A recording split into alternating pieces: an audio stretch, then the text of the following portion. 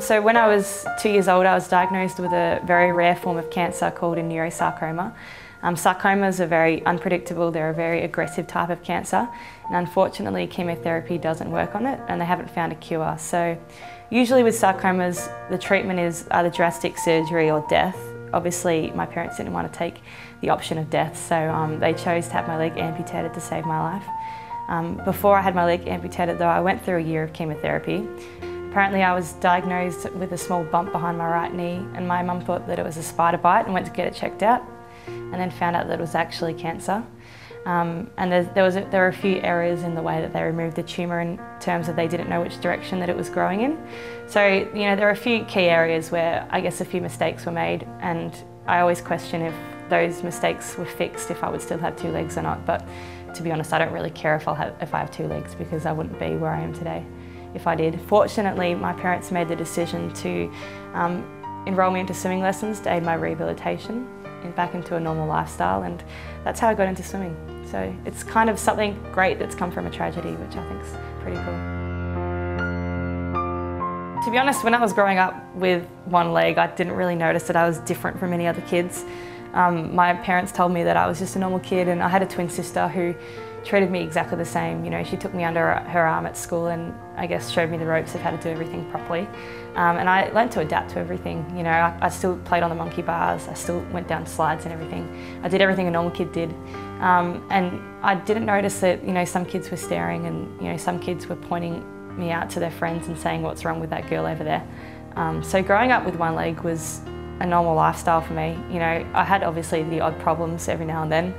Um, my leg fell off once at school and it snapped in half once and that got me out of an assignment which was cool.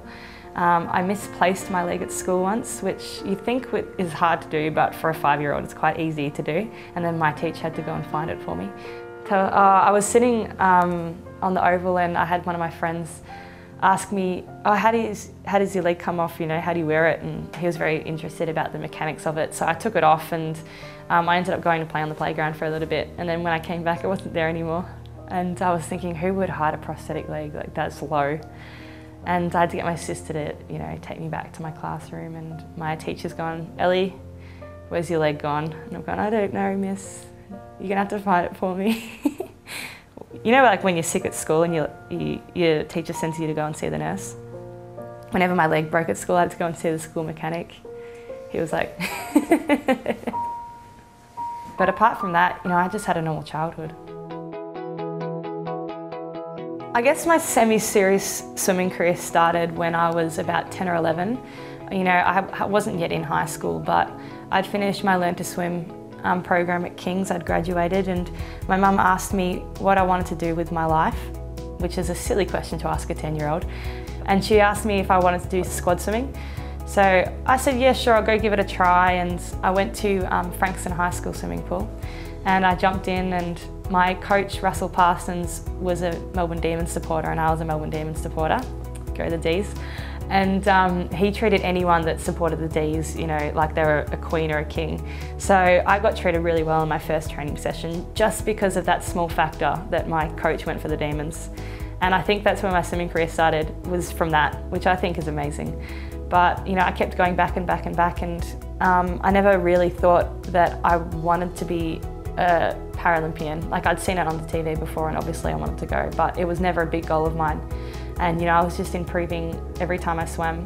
You know, I always tried to fix something being a perfectionist and eventually my technique, you know, was close to perfect and you know, my fitness levels were going up and you know, I was climbing the rankings in Australia and all of a sudden I was at the top before I knew it, which was pretty amazing.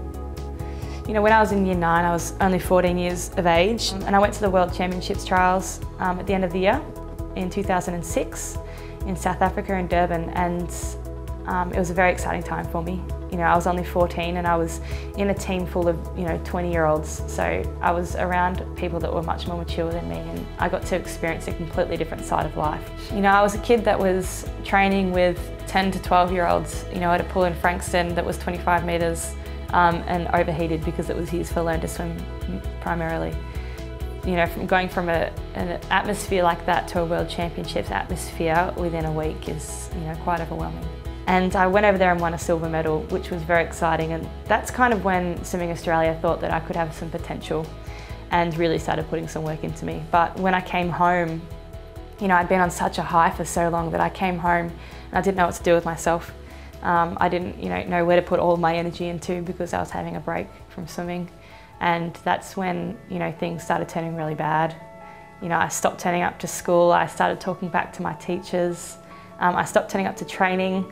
My mum thought that I was on drugs, which I wasn't, but she thought I was because I was, you know, acting so, I guess, irrationally and, you know, I was pretty much uncontrollable for a good two years of my life there. You know, the transition from primary school to high school really wasn't that different to what I was used to. I knew that someone was going to have a go at me for having one leg. I just knew it was bound to happen eventually. And it actually happened on the first day. Um, a kid called Zach came up to me and said, oh, pirate, what are you doing? Hey, what are you doing? And I'm like, that's not that offensive, but that's not on. and I took my leg off and I threw it at him like a javelin, thinking that, you know, being in drama class, it would have been socially acceptable to do something like that. It's quite a dramatic way to deal with something. And um, everyone just stood there, you know, mouths open, shocked that I'd done that. And I think a kind of a wave of um, fear went through the class that, oh my goodness, have I better not mess with that girl, she will throw her leg at me. so, um, you know, obviously I don't condone violence, but there was that only, there's only been one time when I've used my prosthetic leg as a weapon. You know, when I was 12 years old, I thought I had a very normal lifestyle. Um, I thought that you know, having protein shakes after training, um, having ice baths and physio massage and everything like that was the normal lifestyle for a 12 year old. And it wasn't until I moved to the Australian Institute of Sport when I was 19 or 18 and I started talking to other athletes about you know what they did when they were young, younger athletes and younger kids. And you know they didn't start taking all their proteins and recovery methods and everything until they were about 17 or 18. So um, I think from a very young age, my parents were setting me up to be an elite athlete, and I didn't even realise it at the time until I was 18 that that was happening. I was at the Beijing Paralympic trials all of a sudden. I was really nervous there because I wasn't prepared like I should have been. And you know, that's when you get the most nervous is when you know you haven't done the work. That's why I usually get nervous anyway. Um, I still managed to make the team somehow for the Beijing Paralympic Games and I was the youngest swimmer on the team and I went to the games a couple of months later after a lot of training. You know, I really buckled down after that and really applied myself. Um, went to the games, it was very overwhelming. I have this one memory um, of Beijing. It was right before I won my silver medal, which was my very first um, medal that I'd won at the games. And I was sitting in the call room and I was really nervous, obviously. And I have a really unstable knee. And if I have any material gather behind my knee, it will usually dislocate. And back then, you know, we wore the this racing bathers that went all the way down to the ankles. And I, I, put, you know, my, my leg up on the chair and all this material gathered behind my knee and dislocated my knee right before I was going to walk out for my race. And I was thinking, oh my goodness, oh my goodness, I've just dislocated my knee and I'm about to swim 100 metres butterfly. That's not a good thing at all. But um, I actually found it very interesting that when you are competing at, an event like that, you have so much adrenaline running through you that you don't feel anything anyway, so it didn't affect me. It's not the knee that dislocates, sorry, it's the kneecap. You know, when you walk out into the um, competition area, you have to walk through the warm-up area to get there. And I watched the TV as I was walking through it and I saw Matt Cowdrey had just won his, his race. And I was thinking, oh wow, Matt's just won his race, that's really exciting. You know, I'm very proud of him, go, go Australia. And then I'm thinking, uh oh if Matt Cowdrey's just won his race, it means that my race is up next. And I'm thinking this isn't good, I'm not even in the call room.